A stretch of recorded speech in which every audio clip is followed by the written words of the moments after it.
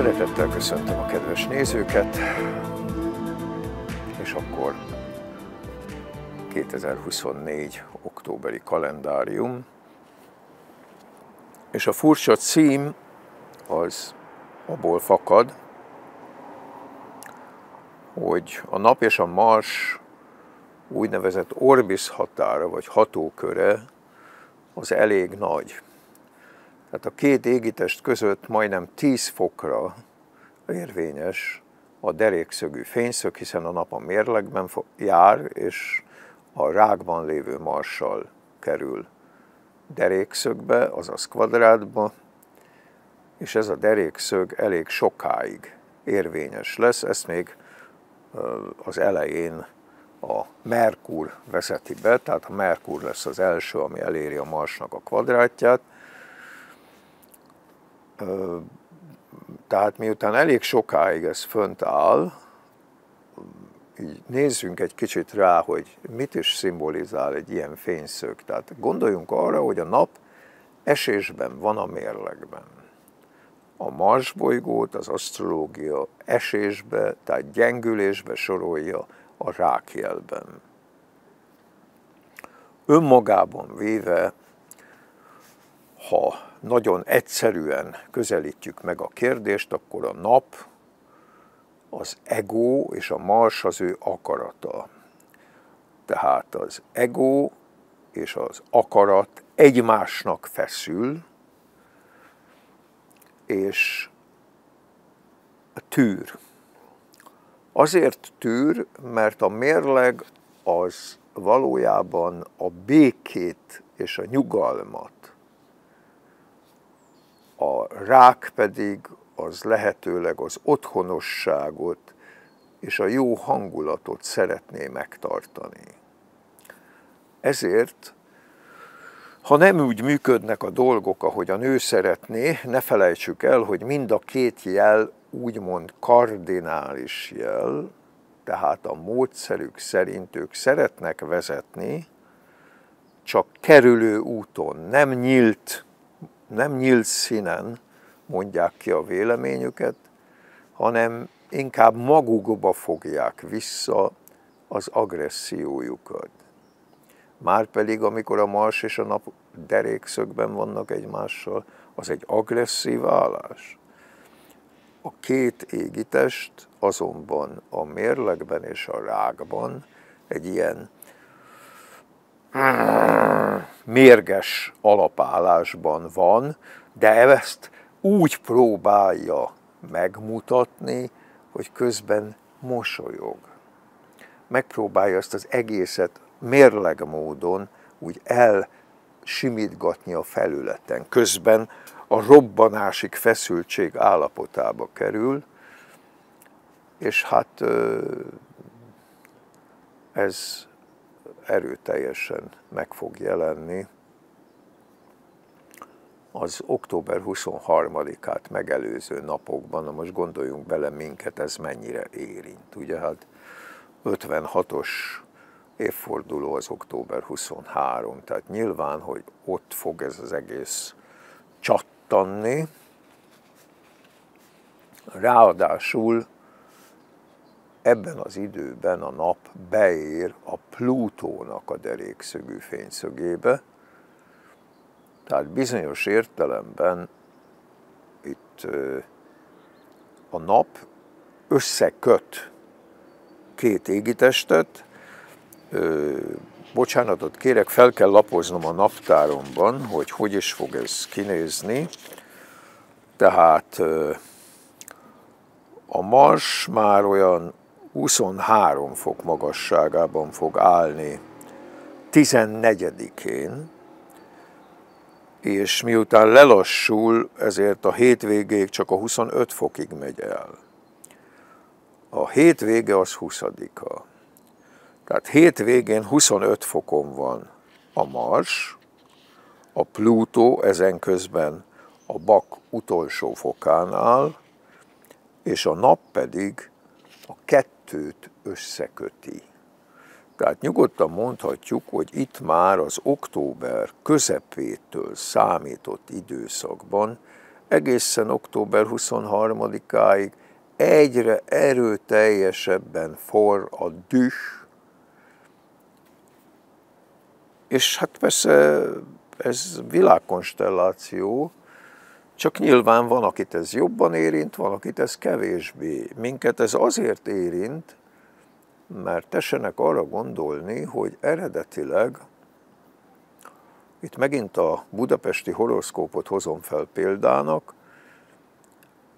nem elhanyagolandó az a horoszkóp, tehát nehogy azt tessenek gondolni, hogy azért, mert ez Budapest horoszkóp, akkor az az egész országra rányomja a bélyegét. Budapest székesfőváros horoszkópja 1873-ban lett aláírva, és ez rányomja a bélyegét. Tehát igazában véve itt van egy nap-Szaturnusz derékszögű fényszög, úgy, hogy a nap már a skorpióban van, a Szaturnusz még a bakban, a Neptunusz pedig a kos végén.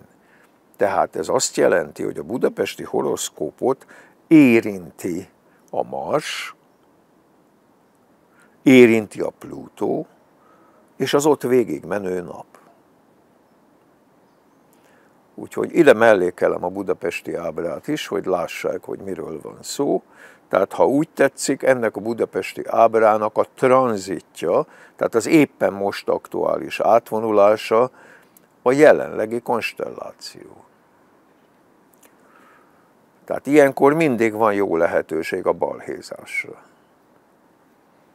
Annyi pozitívum van a dologban, hogy sem a rák mars, sem a mérleg nap nem elég erős. Tehát, tehát a, balhé, az, a balhézás, vagy a balhés hangulat, az megvan, de nem elég erős ez a kapcsolat úgy önmagában, és további árnyalatok vannak, de menjünk szépen sorjában. Tehát ez a lényeg, hogy ez ennek a hónapnak a legnehezebb, körülbelül tíz napja, és aztán onnan, tehát se előtte, se utána nem annyira borzasztó a helyzet.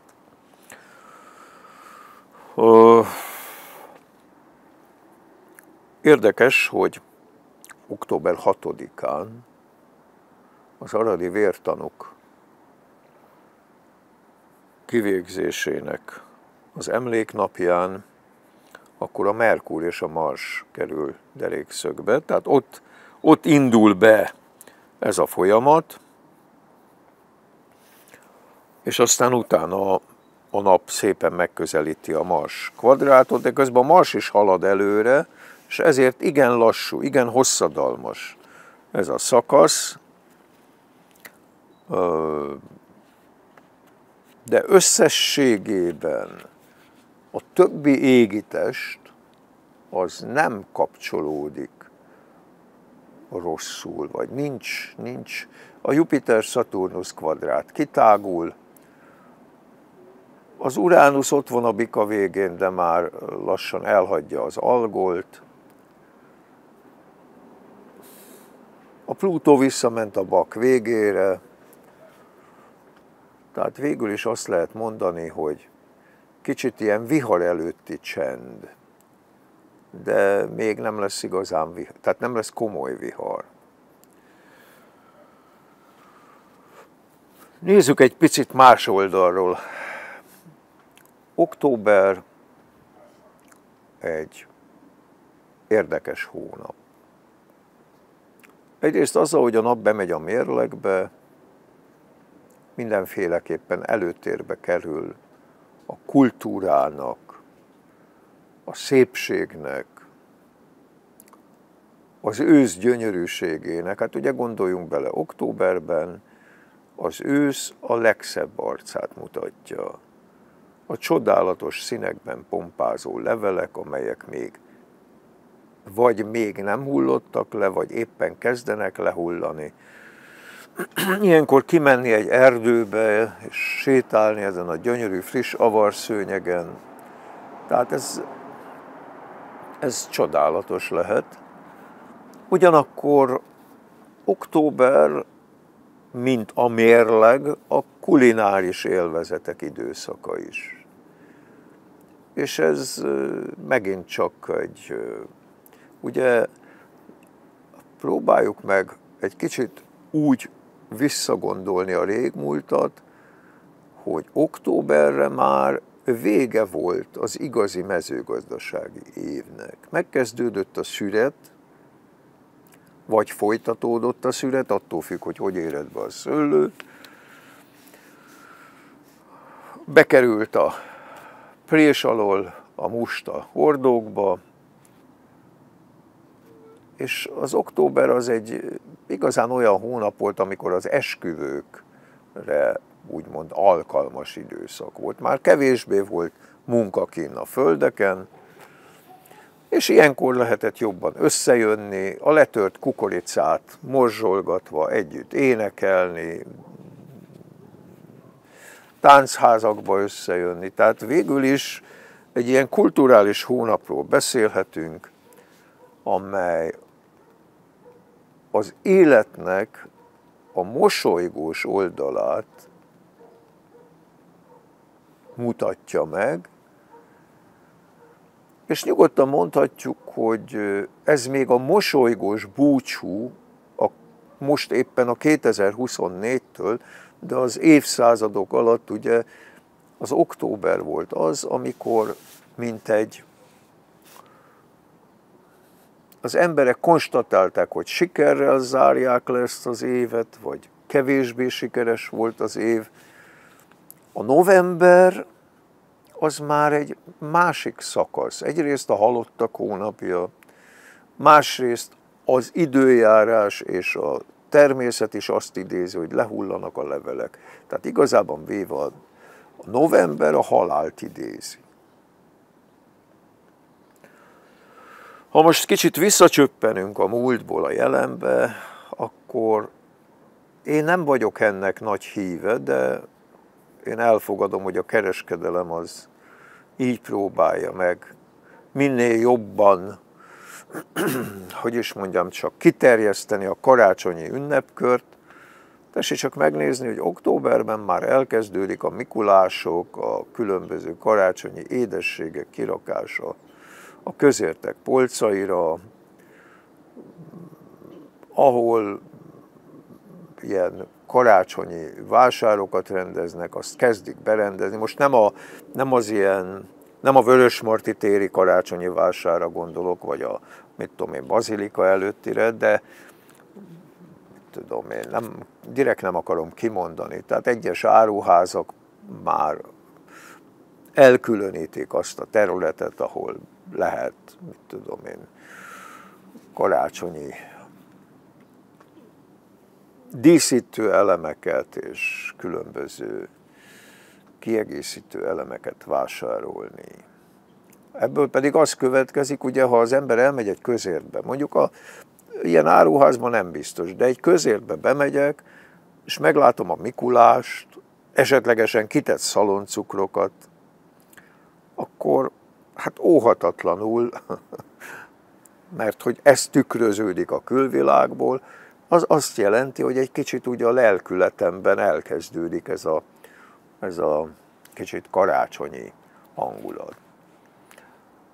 És hát novemberre meg aztán persze rengeteg, tehát ez ilyen plázák, meg mit tudom én, nem, mint fel vannak díszítve. És uh, én azért nem helyeslem ezt annyira, mert ezzel valójában siettetjük az időt. És kevésbé éljük meg az. Tehát jelen pillanatban nekünk az a dolgunk, hogy az októbert éljük meg. Én nem szeretnék senkit sem, sem rá, sem lebeszélni, de Volt egy időszak, amikor én előszeretettel járkáltam az erdőt szeptember-október hónapokban, mert ha például csak a most az utóbbi időszak csapadékos helyzetére tetszenek gondolni, meglocsolta ez most a magyarországi erdőket? Hát persze, hogy meglocsolta. Ebből pedig mi következik? Most egy kicsit melegszik az idő, itt az özlábgomba szedésének az ideje, mondhatnám viccesen, és aki szereti a gombát, természetesen gombagyűjtésnél én azt mondom, hogy minimum ismerni kell a leglényegesebb mérgező gombákat. Tehát nem szedünk le véletlenül se gyilkos galócát mondjuk egy őzlábgombás kosárba, vagy egy vörhenyes őzlábot, vagy egy párduc galócát. Most mondhatják, hogy mennyi minden. Volt időszak, amikor le akartam tenni a gombaszakértői tanfolyamot, vagy elvégezni és letenni a gombaszakértői vizsgát. Tehát hát érdeklődő ember volt, vagyok, vagyok ma is, voltam is, és nyilván sok mindent csináltam az életem során. Tudják, hogy milyen csodálatos dolog egy ilyen gyönyörűséges, enyhén a napsugára, hogy áttűz a már hulló levelek között az erdei sétáló, ne a sétáló helyeken menjenek egyébként, mert ott nincs gomba. Tehát a, be kell menni a nagy fák közé. Ahol nagy az ajnövényzet, ott nem érdemes vele foglalkozni. Tehát olyan helyekre kell menni, ahol csodálatos nagy öreg fák vannak, és kevés az ajnövényzet. Na, ott lesz gomba. Főleg az olyan területeken, ahol egy kicsit nedvesebb, lejtős oldalban. A napsütést a gomba nem annyira szereti, tehát inkább az ilyen kicsit északiasabb területeket érdemes megcélozni. És mindenképpen el kell menni gombavizsgálóhoz, és a gombát, amit leszettek, és amit a gombavizsgáló azt mondja, hogy ez ehető, mert azért például, hát ez egy izgalmas dolog észrevenni a lila pereszkét, ahogy kikandikál egy pici kalaprész a avar alól, vagy a szürke törcsérgomba. Hát azokat mondom, amelyek most ugye bimbós pöffeteg, vagy netán valaki óriás pöffeteget talál. Hát ebből aztán rengeteg mindent lehet csinálni, csak nagyon-nagyon fontos, hogy azonnal fel kell dolgozni, mert a gombába bekerül egy úgynevezett légynek a pondrója, ez a gombakukac, és akkor innentől kezdve, tehát a gomba nagyon hamar megkukacosodik. Tehát viszont nagyon finom. Hát aki meg nem szereti, annak is egy jó kaland. Meg gondoljunk a gyerekekre. Akkor a meglepetés egy kisgyereknek, ahogy egyszer csak mondjuk, hogy nézd meg ott az őzláb gomba, akár a gyönyörű nagy kalapja, de szép is, hát nagyon-nagyon szép gomba az őz, legalábbis én. Én ezt mondom, hogy nagyon-nagyon szép gomba az őzlábgomba, látványos, szép, nagy gomba, a kis dobverő, amikor kisebbek, az is már olyan jó nagyra tud nőni, és ilyen kis dobverő alakja van. Hát ez egy jó kaland. Egészséges sétálni az erdőbe, és nagyon finom étel a gomba, nagyon sokféleképpen meg lehet csinálni. Hát az őzlábot ugye az jellemzően inkább a kirántás variációja szokott lenni, de lila pereszkét, vagy szürke gombát, gombás rizs például, nagyon finom, jó megdinsztelt gombát bekeverni a rizsbe, mi annak idején úgy csináltuk, hogy zöldséggel keverve, tehát zöldség, jó megnéztelt zöldség, sárgarépa, zöldborsó, lehet benne gyökér, és gomba. Nagyon-nagyon finom tud lenni, az egészet aztán újból még egyszer egy kicsit összerottyantani. Nagyon finom tud lenni. Na, de ezen túl a mérleg időszaka az ugye levegős jel a mérleg, tehát ilyenkor a kapcsolatok ápolása, közös összejövetelek, erre mind alkalmas időszak ez. A vidámság, az öröm, és eltekintve ettől a napmars fényszögtől,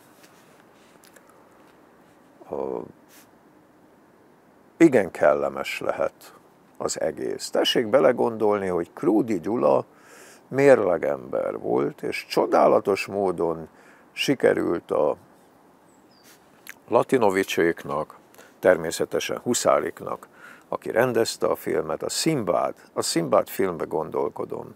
Az egy tipikus mérlegfilm. Az annyira mérleg, hogy gyönyörű. Az egész, igen, az egész arról szól, hogy gyönyörű. Természetesen a Szimbád megfilmesítésében egy kicsit a Skorpió is benne van, hát Huszárik beletette egy kicsit önmagát, de nincs ezzel semmi baj. Tehát ebben, ez, ez olyan, mint a héjanász az avaron. Útra kelünk, megyünk az őszbe, víjogva, sírva, kergetőzve. Adi Endre csodálatos verse, és hát valójában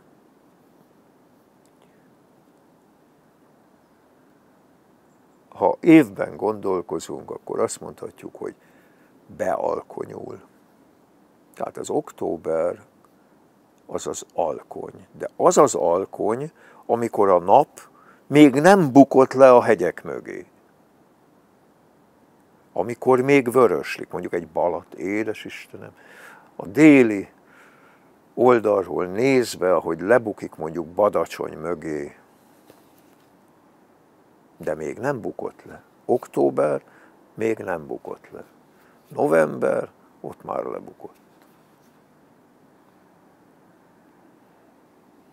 és utána jön az a misztérium, amikor az alkony átmegy a besötétedésbe.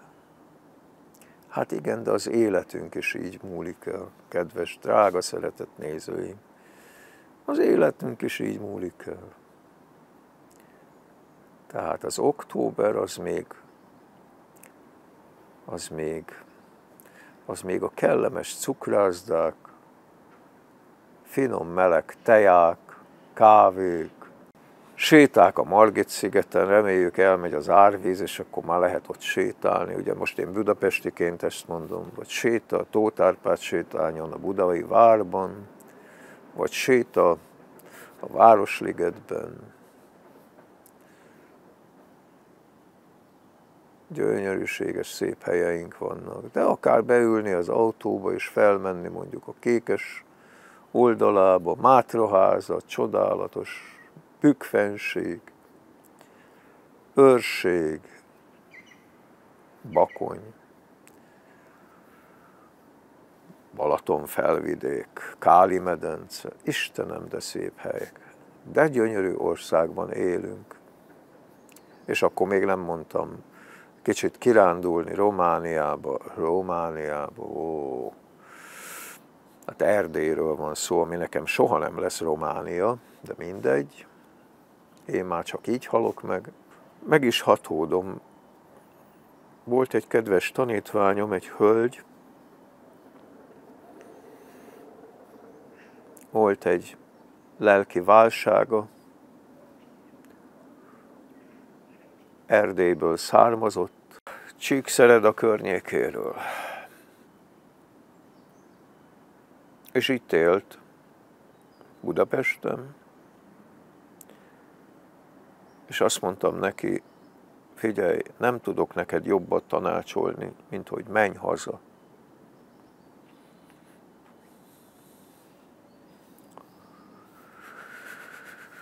Menj haza a hegyeidhez.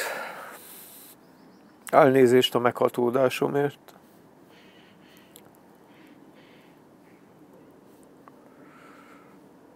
Kárpátok bérceihez. Ez a mi hazánk, Magyarország. És itt számtalan hely van, ahol lehet vigadni, lehet busulni, és lehet feltöltődni, feltöltődni, bizony. És az október az, az a tücsök jele, hogyha most a Lafontaine meséjéből a hangyát és a tücsköt elővesszük, az október az nem a dolgos szűz, a hangya, hanem a tücsök. Ez a vigadás, a zene, a tánc. Miért beszélek ennyit erről? Hát mert nyilván azt szeretném elérni, hogy a drága kedves nézők lazítsanak egy kicsit. Pihenjenek egy kicsit, utána úgyis jönnek az egyéb feladatok. Nos, hogy néznek ki ezek a napok? Az első napjai októbernek. Hát először is úgy kezdődik, hogy másodikán este lesz egy új hold. Szerencsére nem lesz támadva. Tehát ennek következtében mondhatjuk azt, hogy így az első napok, hát hol, hol is van ez az új hold? Hát a mérlegben nyilván. És másnap harmadikán is a hold a mérlegben lesz, negyedikén a mérlegből indul, délután megy át a Skorpióba, tehát igazában véve, és közben a Jupiter az ikrekben van, tehát például a harmadikán a Hold és a Jupiter trigomba kerülnek, az egy nagyon kedvező állás.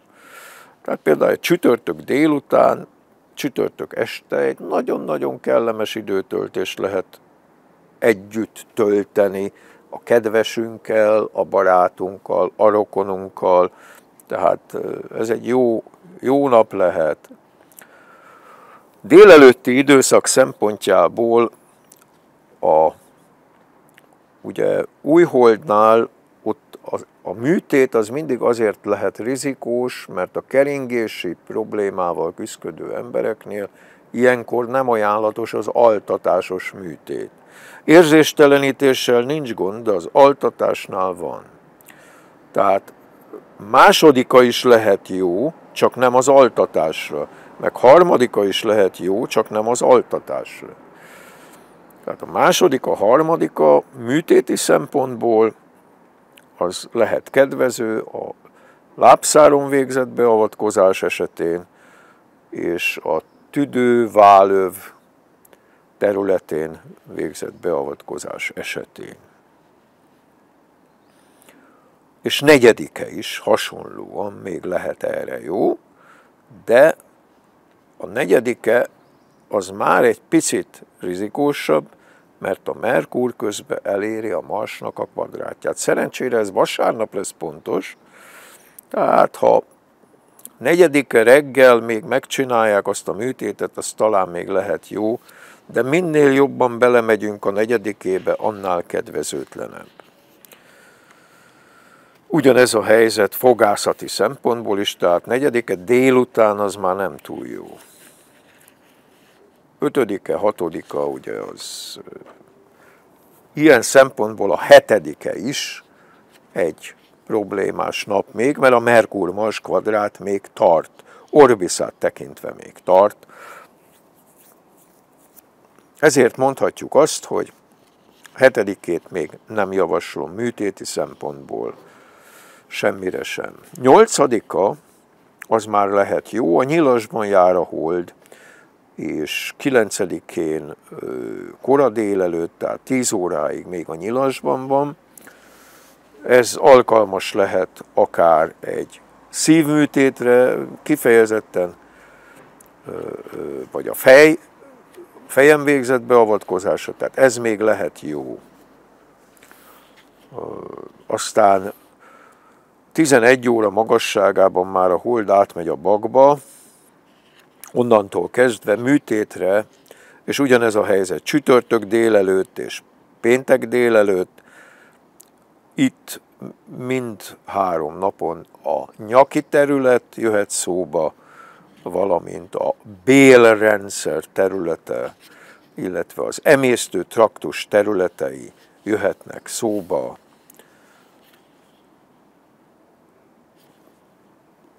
a nyolcadika, kilencedike, nyolcadika egész nap, kilencedike reggel, dél, kora délelőtt a felső fogsor, utána pedig a 9-e 11-től beleértve a csütörtököt, és péntek estéig az alsó fogsorra alkalmas időszak ez. Viszont 7-e, 8-a, 9-e egy elutazásra, vidéki rokonok meglátogatására, vagy akinek éppen most van lehetősége kivenni a szabadságát, akkor egy kellemes, akár Magyarországon, akár Magyarország környékén, vagy picit távolabb, nyolcadikán elutazni mondjuk egy városlátogatásra, megnézni egy-két szép helyet, ez lehet jó. És ugyanez a helyzet 12-én, 13-án abszolút lehet kedvező utazásra, közösségi feladatokra, nem véletlen, hogy ezen a hétvégén rendezem meg a családállítást. És hát akkor ugye elérkezünk a 14. héthez, amikor is a nap beér a Mars kvadrát. Pontosabban a hatókörét tekintve már az előző héten beér a Mars kvadrátba, tehát az október mondjuk nagyjából 7-e, 8-a, 9-e, ott már beér a Mars kvadrátba. 14-én van a pontos napmars derékszögű fényszög, és akkor ez tart bizony napokig. Tehát a kritikusság szempontjából a 14-től terjedő körülbelül 24-ig. Tehát itt van az a tíz nap, az a kritikus tíz nap, amiről beszéltem. A, itt az előtte lévő hét, tehát a 7-től 13-áig terjedő hét, az ott viszonylag elég sok kedvező fényszög is van, az nem annyira észrevehető, de ott már gyűlhet a probléma. Tehát az lehet egy nehezebb szakasz, de ugye, hogy mondjam, a nap, Mars kvadrát az önmagában véve nem akkora kaliberű történet, tessék belegondolni, hogy a Mars az a munkát is jelenti. Tehát például, ha mondjuk a 8 a 9 a 10 mondjuk nekiállunk, és elkezdjük készíteni a lakásunkat, mondjuk a karácsonyra, tehát ablakot mosunk, kitakarítunk, stb. Ez erre nem rossz, csak a, különösen azok a napok, amikor a hold a bagba van. Tehát 10-e, 11-e, 9-e délután, ez teljesen lehet jó. Rizikózni, úgy létrázni, vagy mit tudom én, sámlit zsámolyra állítani, és akkor hatalmasat esni, annak nincs értelme. Sőt, a fejsérülésre ez kifejezetten egy kedvező állás a napmars kvadrát. Tehát itt azt lehet mondani, hogy ez egy nagyon, tehát sebesülés szempontjából nem veszélytelen állás, de ugyanakkor a többi egyéb bolygóállás nem olyan. Itt van még egy nagyon-nagyon kritikus nap, az a 17-e. Miért olyan nagyon kritikus? Mert ekkor van telihold, tehát napmars kvadrát, és mivel teli hold van, így ez azt jelenti, hogy a hold a kosban van, a nap a mérlegben van, a mars a rákban van, tehát a 17-e az a legkedvezőtlenebb, Egyébként sem teliholdkor nem szoktunk műteni, tehát így a teliholdat megelőző és az azt követő napok az nem túl jók. 16, 17, 18 semmilyen műtétre. 14-e és 15-e műtét szempontjából nem feltétlenül rossz. Az a lényeg, hogy halakban jár a hold, viszont a Vénusz szemben áll az Uránusszal. Tehát míg a halak jó lenne nőgyógyászati műtétekre, de a Vénusz-Uránusz szembenállás nem jó. Tehát például ez nagyon kedvezőtlen. Ugyanakkor mondhatjuk azt, hogy például mondjuk egy orr beavatkozásra, tehát egy orrműtét, vagy egy láb, bocsánat, nem láb, na, egy gyomor területén végzett beavatkozásra lehet jó. A láb vizsgálatára jó, de műtétére nem jó. Ennyit sokat a helyzeten, hogy közben nem csak a Marssal van kvadrátban a nap, hanem a Jupiterrel, ami az ikrekben van, azzal meg trigonban van. Tehát ha az ember elég ügyes és megengedő és rugalmasabb, akkor sok mindent tud majd kezelni ebben az időszakban. Ez a Vénusz-Uránusz szembenállás, ez 14, 15 és 16-án kifejezetten kedvezőtlen lehet férfi-női kapcsolatok szempontjából, váratlan viták, nézeteltérések, csalódások, szakítások, fényszöge tud ez lenni, tehát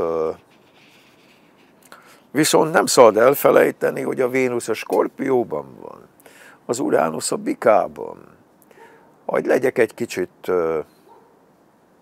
hát hogy is mondjam, csak csalafinta. Ezt a fényszöget, jaj, nem. Bocsánat, hippi mozgalom. Annak idején volt egy szlogen, itt hordták ilyen kis szívecskébe. Angolul ez úgy hangzott, hogy make love, not war. Magyarra nagyjából így lehet lefordítani, hogy szeretkezne háborúz. Na, egy Vénusz-Uránusz opozíció az lehet nagyon jó.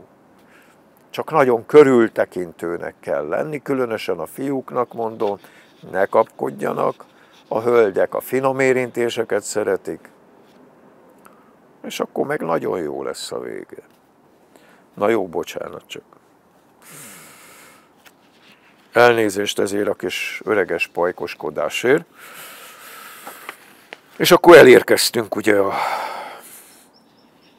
még kritikusabb szakaszhoz, telihold után vagyunk, és a nap megközelíti most már a Plutó kvadrátját, 18, 19, 20, 21, 22, 23. Hát most van az, hogy itt kell féket tenni. Viszont tessék belegondolni, hogy a bikából átmegy az ikrekbe ezen a hétvégén a hold, tehát kimenni a zöldbe, kirándulni, nem balhézni, hanem elmenni egy jó társaságba, vikendezni, arra nagyon kedvező. Ráadásul itt ugye össze lehet vonni a 23-ával, ami ünnep, tehát abszolút lehet azt mondani, hogy a kikapcsolódás hete, vagy két hete jöhet, hiszen utána a következő héten, november 1 az péntek, halottak napja szombat, vasárnap, tehát ott egybefüggően van három nap, előtte van egy iskolai szünet,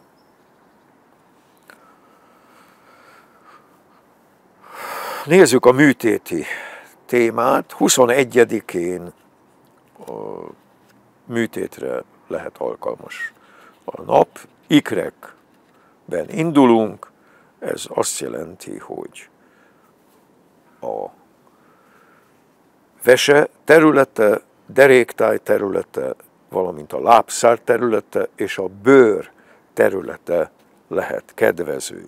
21-én valamint a felső fogsor.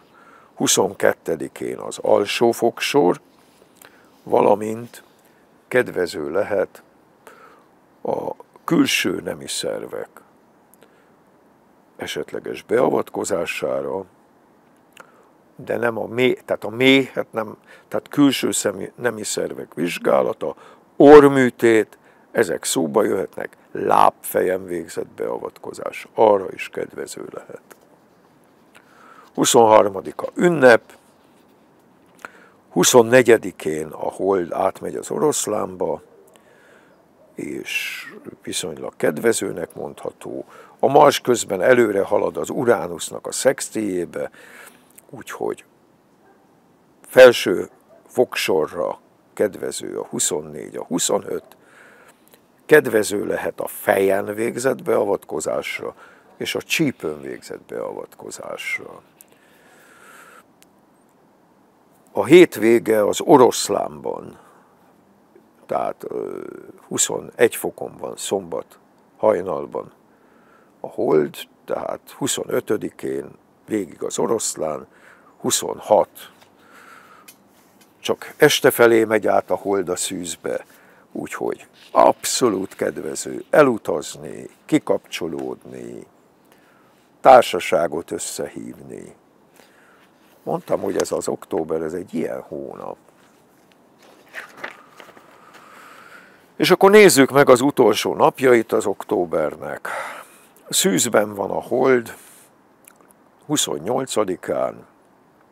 Ez megint lehet egy jó kis munkás nap, a készülődni a téli ünnepkörre, tehát egy ilyen őszi nagy takarítás kiválóan alkalmas.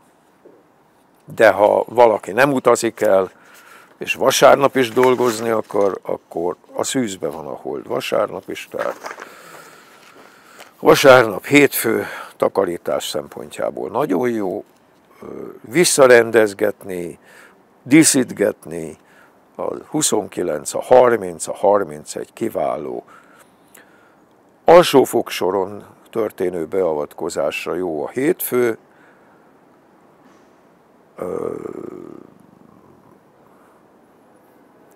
és ugyanakkor kedvező lehet a térden végzett beavatkozásnál, és kedvező lehet a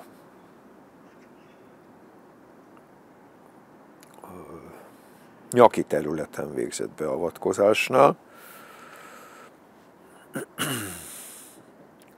ami a hold állását illeti.